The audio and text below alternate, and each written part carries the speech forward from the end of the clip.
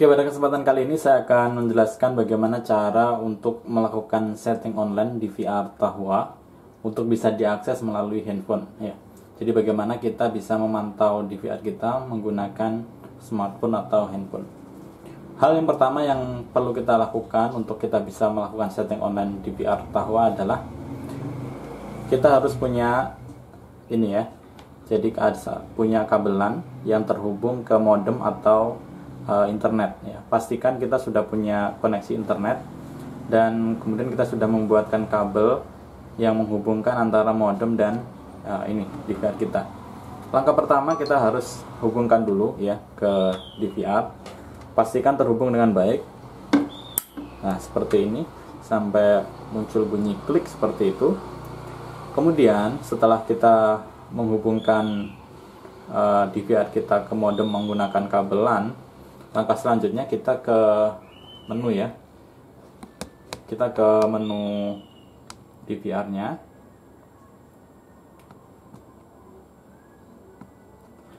oke. Jadi pertama kita masuk ke main menu dulu ya. Oke kalau misalkan teman-teman apa namanya belum login silahkan login dulu seperti ini misalkan.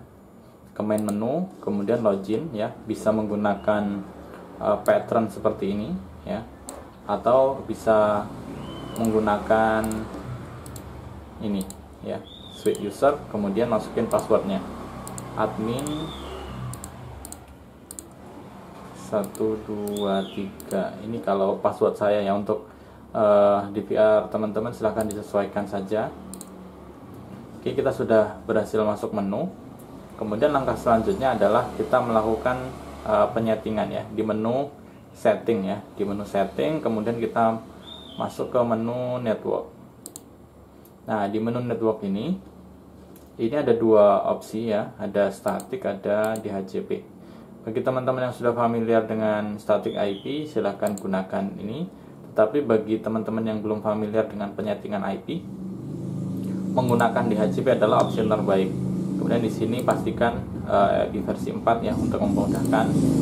Kita pilih yang di HCP kemudian kita klik apply di sini. Ya apply kemudian klik save. Selanjutnya kita coba masuk lagi untuk mengecek apakah sudah dapat ID belum. Nah seperti ini harusnya sudah dapat ya. Kemudian untuk memastikan kita bisa cek di tes ini.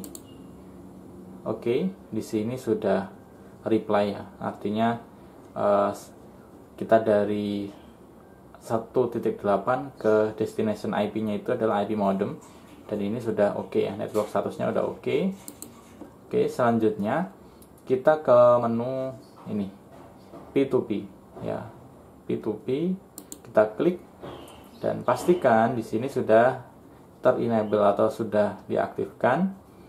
Kemudian juga pastikan di sini statusnya sudah online. Nah Selanjutnya kita perlu uh, membuka handphone ya.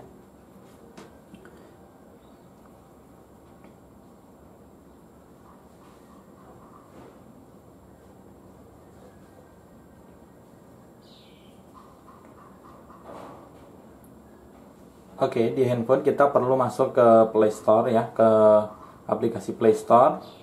Kemudian kita unduh aplikasi DMSS. Jadi DMSS-nya yang seperti ini tampilannya. Ya. DMSS. Kemudian kita klik install.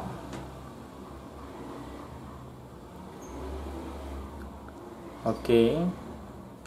Ini kita bisa tunggu ya untuk penginstalannya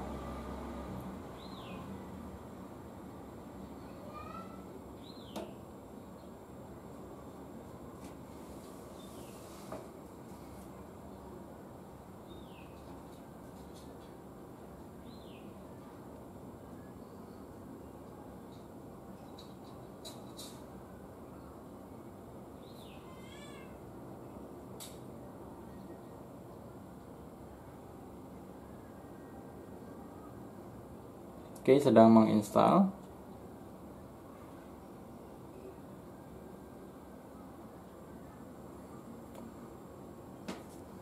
Oke, kalau sudah ini sekarang lagi scanning ya. Dan kalau sudah di bawah ini ada open ya. Kita buka aja. Dan ini adalah tampilannya ya, tampilannya.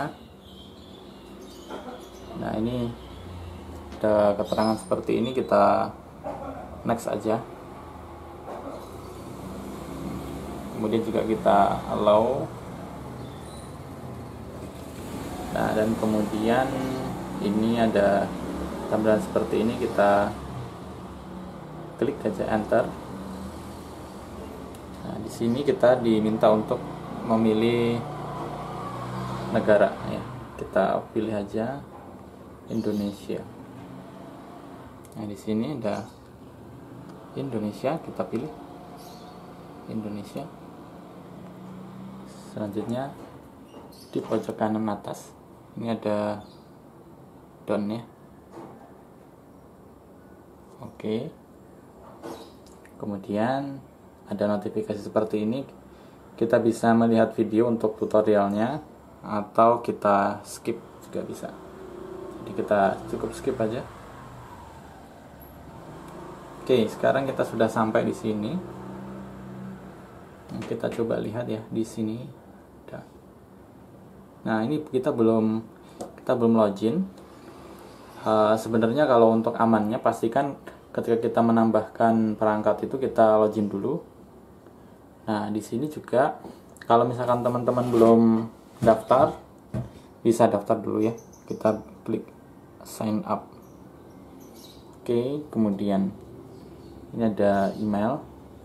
Misalkan saya menggunakan email saya aja. Kemudian passwordnya saya tulis ini aja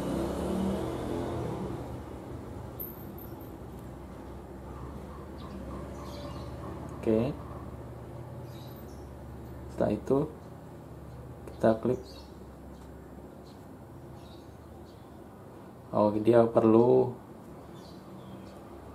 karakter juga. Terus kemudian kita klik yang di bawah ini ya. Di bawah ya. Ini kita klik. Ya I have read and agree ya. Kemudian kita klik yang get verification code. Oke. Nah selanjutnya kita tinggal tunggu untuk email masuk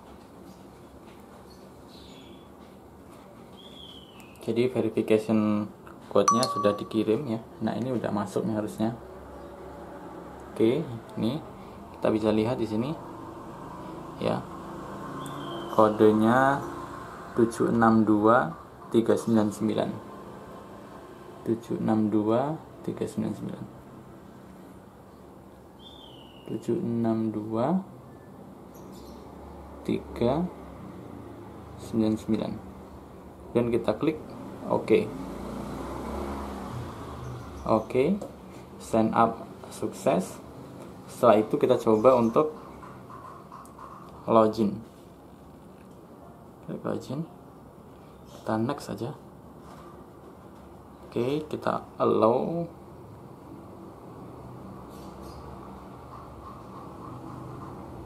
Oke kita sudah berhasil login selanjutnya kita ke home. Dan kemudian kita klik yang ini. Plus. Ya kita bisa pilih yang SN ya. Atau IP domain atau online search. Kita coba untuk gunakan SN atau scan.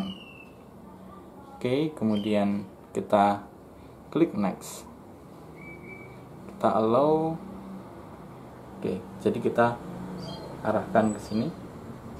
Oke sudah berhasil. Dan kita klik next.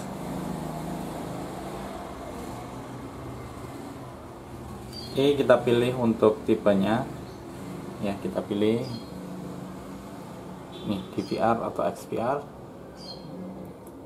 kemudian device name nya kita kasih aja misalkan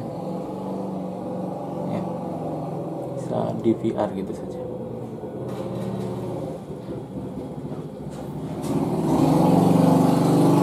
Seperti ini isi aja DVR kemudian kita masukkan device passwordnya.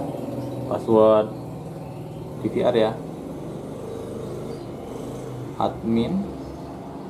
1 2 3 oke kalau sudah sudah diisi semuanya. Kemudian kita klik save.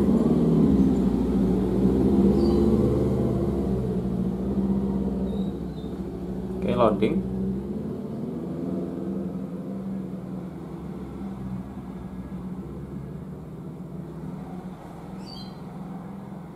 Oke, sudah berhasil ditambahkan. Dan ini adalah tampilannya ya untuk uh, online-nya. Oke, ini bisa kita save. Nah, bisa dilihat ya untuk tampilannya sama antara DVR dengan yang di mobile phone. Nah, sampai di sini kita sudah berhasil untuk menambahkan perangkat kita ke handphone ya. Dan di sini ada beberapa fitur kita bisa coba. Sini ada SD, ini HD. Kualitasnya lebih bagus ya. Kualitas lebih bagus. Kemudian di sini ada pilihan untuk berapa channelnya 16 4 ya 9 ya seperti ini oke dan di sini juga ada untuk record ada untuk snap ya apa untuk capture ini untuk bicara ya, ini untuk playback sebetulnya. Oh iya untuk playback. Karena di sini nggak ada recordingnya. Ini untuk playback kemudian untuk snapshot ya. Kemudian ini untuk bicara ini untuk ngerekam ya. Seperti itu. Oke ini untuk mengakhiri. Dan untuk play bisa. Bentar.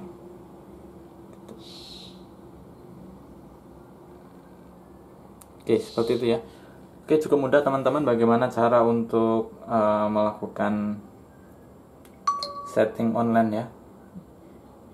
DVR Tahua. Semoga video ini bermanfaat. Jangan lupa untuk subscribe bagi yang belum, like videonya dan bagikan ke seluruh media sosial teman-teman semuanya. Sampai jumpa di video-video selanjutnya. Saya akhiri. Assalamualaikum warahmatullahi wabarakatuh.